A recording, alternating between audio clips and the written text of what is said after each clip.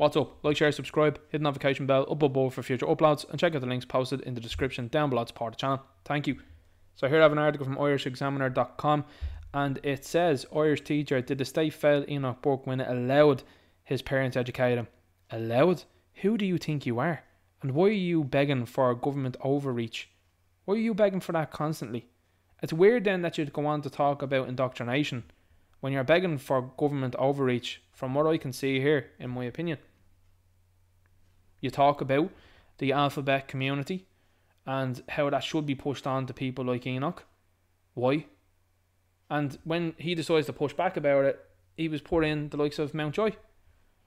And then he's been brought up to court in the media circus surrounding him. Meanwhile, you've got other people that are up to all sorts of other shenanigans that have been given suspended sentences. Bad guys. So, how about talk about that now? No. Okay. Well, that's fine because I'll talk about these things because when you see a disgusting article like this with a disgusting headline, I'll have no problem about talking about things that you're saying here and rebutting what you're saying because, as always, I bring the receipts. But how dare you think that you can say that the state failed Enoch Burke when it allowed his parents to educate him? That is a disgusting remark. A parent passing on a singular world view without any exposure to the beliefs of others is indoctrination, not education. Well, it's funny you say that there, Jennifer. Now, this is how Jennifer used to look. This is how she's currently looking there. Now, how many jabronis are you in there now at this stage, Jennifer? Looking more like Alice Cooper nowadays than yourself. Very strange, isn't it? And this is what this person was up to not too long ago. Thursday, 9th December 2021. So I'm sure this person was up for differing views I'm sure she was up for people debating what was going on at the time. I'm sure she was very welcome to that.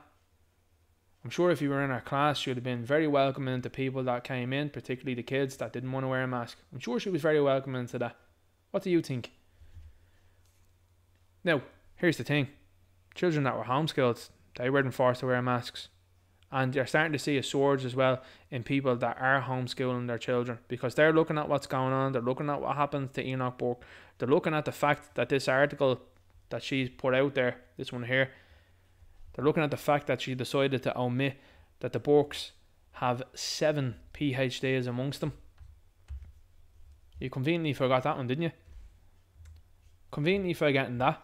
And then it's like, oh, guys, you know, doing this here by asking children to wear masks isn't this. They are learning to care about their communities. Absolute hogwash. Hogwash.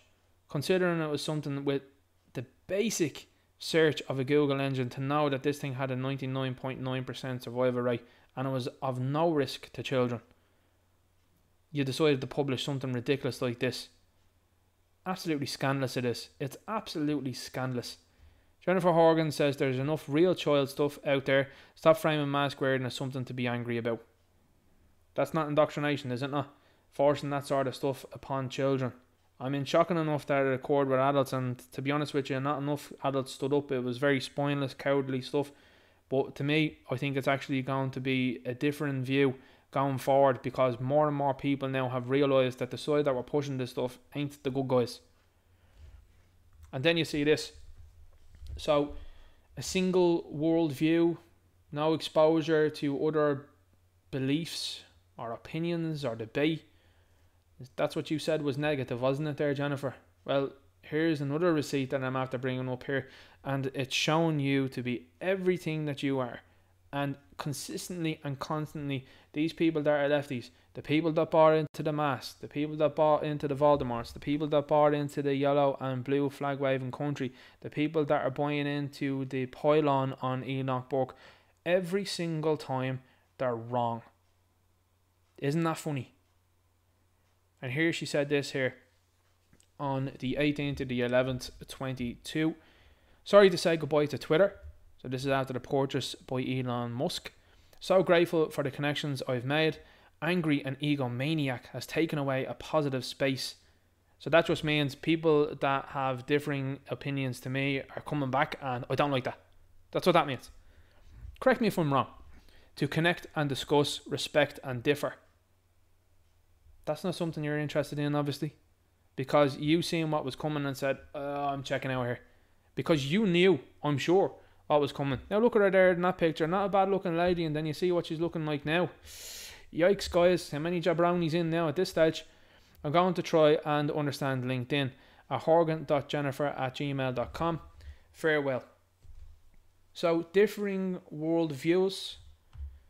Weird, isn't it?